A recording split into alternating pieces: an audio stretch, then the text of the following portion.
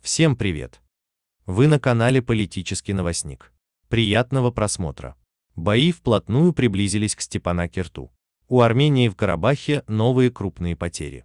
Перед началом поддержите нас лайком и подпиской на канал. Будем очень благодарны. Ну а мы к теме выпуска. Недалеко от столицы непризнанного Нагорного Карабаха снова раздаются звуки войны. Слышны взрывы и воздушная сирена. Жители Степанакерта услышали взрывы и воздушную сирену. По данным спутник Армения, недалеко от столицы Карабаха армянские войска ПВО уничтожили два беспилотника ВС Азербайджана. Пока не ясно, успели ли дроны достичь и поразить заданные цели. Кроме этого СМИ сообщили об обстреле пожарной машины Аскеранского районного отдела госслужбы ПЧС Карабаха, которая доставляла питьевую воду гражданскому населению. Из личного состава спасательной службы пострадавших нет. Минобороны Азербайджана сообщила о новом успехе на фронте. Сегодня уничтожены две артиллерийские батареи противника.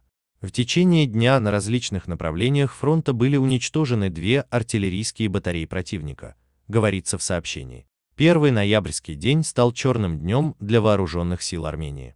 1 ноября, во время боевых действий в Нагорном Карабахе, армия Армении потерпела очередное поражение. Вооруженные силы Азербайджана нанесли мощнейшие удары по позициям противника. Под удары авиации, артиллерии и баражирующих дронов попали опорные пункты, живая сила, бронетехника и системы ПВО. YouTube-канал разместил видео, снятое во время этих боев. На видео запечатлены кадры уничтожения десятков единиц военной техники. Судя по количеству уже уничтоженной техники, Армения получает неплохую военную помощь из России, поскольку достаточно скромно развитая армянская экономика вряд ли может позволить стране приобретать военную технику на десятки миллиардов долларов. Однако даже такая весомая помощь с той стороны не помогает Армении в противостоянии против армии Азербайджана в Карабахе.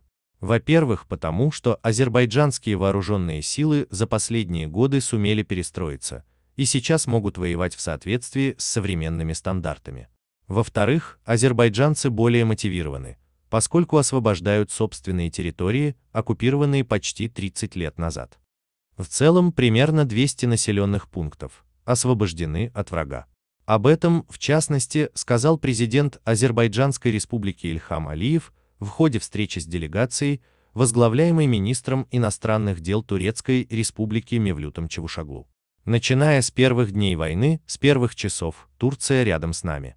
Как сказал мой дорогой брат, господин президент, Турция всегда рядом с Азербайджаном. Азербайджан не одинок. Эта политическая и моральная поддержка продолжается и сегодня. И уважаемый президент, в то же время председатель Великого национального собрания Турции, вы министр иностранных дел, министр обороны и другие высокопоставленные лица неоднократно оказывали поддержку Азербайджану. Это вызывает у нас, азербайджанского народа, глубокое удовлетворение. Это еще раз демонстрирует, что мы рядом друг с другом во все периоды, и в хорошие, и в трудные дни. Эта политическая и моральная поддержка, конечно же, воодушевляет нас, и мы продолжаем свое правое дело. Как вы знаете, операция успешно продолжается. До сегодняшнего дня многие села, города, поселки были освобождены от оккупантов, в частности города Физули, Джабраил, Зангелан, Губадлы. В целом примерно 200 населенных пунктов освобождены от врага, и это продолжается. Каждую неделю я предоставляю информацию о новых освобожденных городах и селах и надеюсь, что мы восстановим свою территориальную целостность, сказал глава государства. На этом все. Спасибо за просмотр. Ставьте лайк, подпишитесь на канал, чтобы всегда быть в курсе свежих и интересных новостей. До встречи!